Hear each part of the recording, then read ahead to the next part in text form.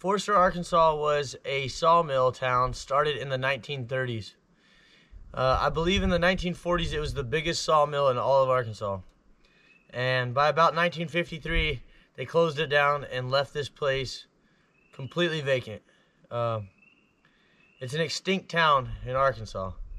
And a lot of the remains of the mill are still here. And it's a really beautiful spot. So I'm going to take you guys around, do a little bit of explaining about how it worked, and uh, show you the beautiful site. All right, guys, here in Forester, this was an old bridge where they would be able to cross from this side, cross the river, over to that side. And look at this original stonework on this bridge. It's just beautiful. All right, here we go. We're going to town.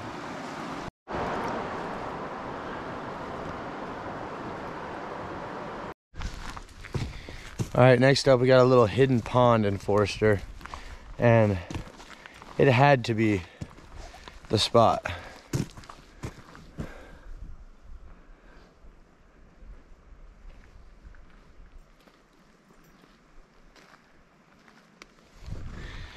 What a beautiful place. I'm sure they were here as soon as work was done. I'm gonna come back here and do some camping this spring and I cannot wait to bring the Volkswagen out here and do some fishing. I promise to bring you guys with me. All right, we're actually getting to town now. Let's go check it out. All right, guys, this here is the log pond at Forester. And what would happen is they would bring the logs in on train. They would unload them just here beside the pond, roll them into the pond, and then they would float them over to the mill that's just right over here around the corner.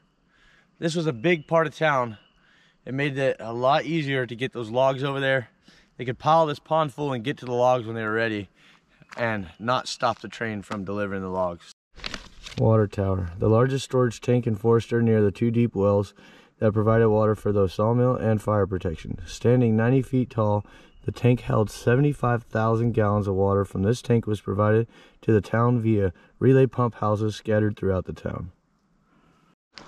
All right, we can see the feet of the water tower. One, two, three, and four. The back one's back behind.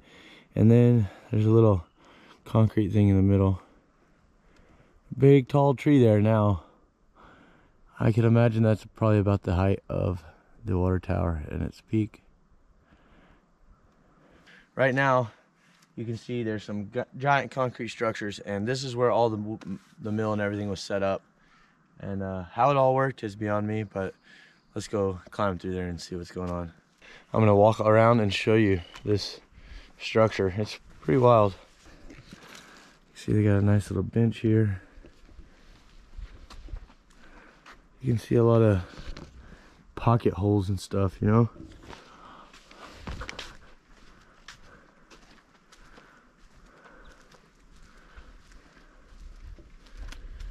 Um, I'd like to think that a log went in here. I don't really know.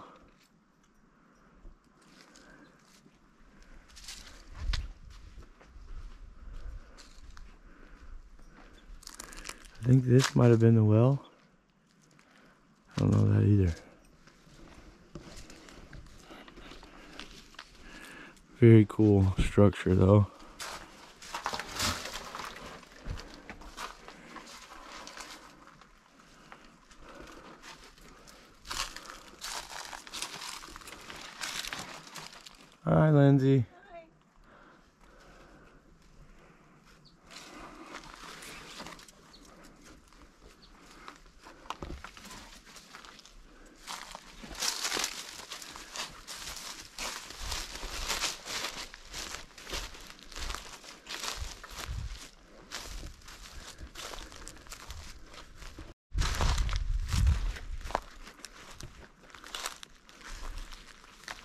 With this being the 40s and it being the largest sawmill in Arkansas, they must have been doing a lot of work here. And boy, I wish I could see it in its heyday. All right, guys, this is the pavilion at Forester.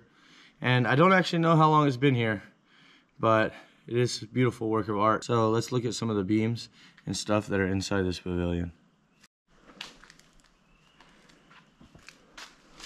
Picnic tables are built around the poles, which I think is really neat.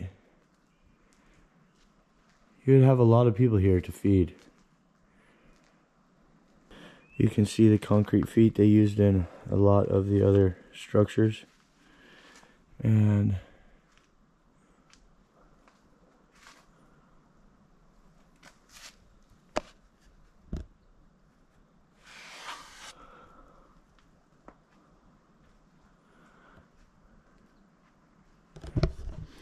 This is where everybody gathers to do a reunion. Pretty sure they do it every year, but it's been weird since COVID, so uh, hopefully I'll be able to make it out here for one of those. All right, here they have a bunch of like class photos. Um, this was fourth and fifth grade in 1947 through 1948.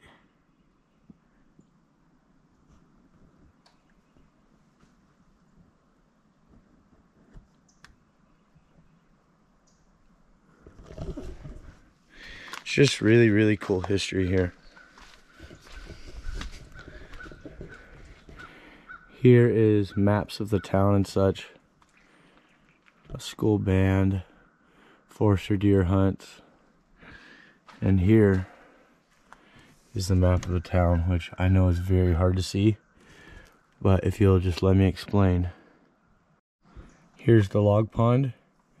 Here's the water tower. Here was where the mill stuff was. Um, they had post office, oil tanks, doctor's home, drugstore, commissary, ice, the depot for the train, and right here is where the train come through. There was a route that would take it here next to the log pond to unload the logs. I promise to show you guys more of that in the future when I get the research done. Let's move on to another cool spot before it gets dark. Dry kiln and cooling shed. The kiln was approximately 75 feet in length. Green lumber was transferred from the mill by transfer cars. The kiln was used to naturally use natural draft for air circulation. Steam coils were in the kilns as a drying agent. Process 1. Air comes into the bottom of the kiln. Process 2. Heat rises and makes air circulation that carries air past steam coils which are on top and sides of the kiln. The cooling shed aligned with the kiln and received rough dry lumber after drying process. Alright guys, you can see this is littered with stone. That's actually those wooden concrete foundations. And I think this is where they put the wood as it was coming to dry. And then it would load it behind me into the kiln. Now the kiln has mostly fallen down, but we're gonna go climb up there and take a look at it.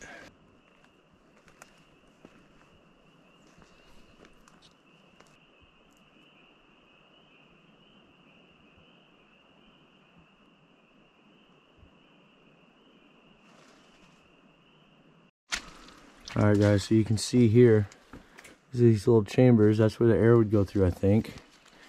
We got holes in the walls, too. See, this little stack has fallen down. There's one that's still standing. And you see the roof has collapsed. Here's the roof over here.